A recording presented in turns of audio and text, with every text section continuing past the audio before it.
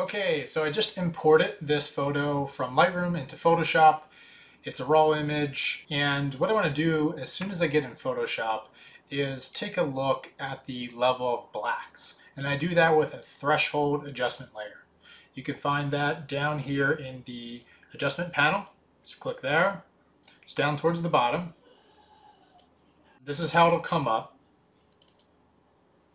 And what you want to do is drag the slider all the way to the left and slowly start to drag from left to right. And what you'll see is the darkest parts of your image will start to show up in black first.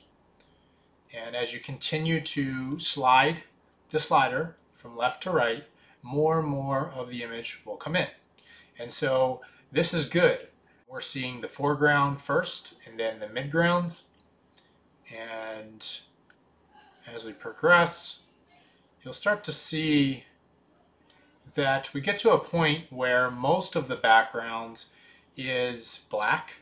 Uh, we actually have a layer here that appears to be more black than even some of the background layers that are actually further away. And so these are the types of things I'm looking for to potentially change and edit in order to increase a sense of depth and I'm using threshold to really help me hone in on those specific areas. So you can also slide it from right to left and this will show you your brightest areas, um, typically the sky or your subject, but also in this case we have some white waves that happen to be catching highlight. So in that we discovered that this hill back here is quite a bit darker than even some of the further hills. So this is something to keep in mind. Before I move on, I like to analyze also the level of saturation. And I'll do that, you can do that here by just grabbing uh, the eyedropper tool. And with the eyedropper tool selected, just go around and uh, select here. You'll also want to have the color. And I actually prefer the new color wheel. Uh, this is great for complementary colors, but what we're really going to focus here is on the saturation. As we click around the image, you'll notice up here we have a level of saturation for that point sample. And you can expand it out a little bit. As you continue to go through the image from foreground to background, you would expect to see that saturation falls off, unless of course your subject in the background is getting hit by direct light. So we'll click here, we see 17%.